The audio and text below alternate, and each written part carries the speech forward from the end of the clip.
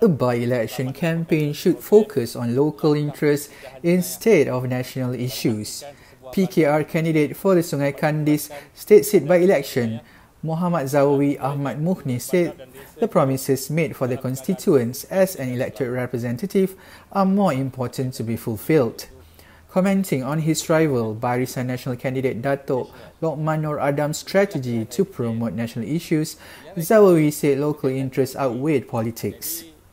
Saya melihat keutamaan kita ialah membangkitkan isu-isu yang setempat yang melibatkan asas, infrastruktur dan juga berkaitan dengan pembangunan modal insan supaya uh, rakyat benar-benar mendapat kehidupan yang sejahtera dan selamat, keadaan yang bersih dan selesa.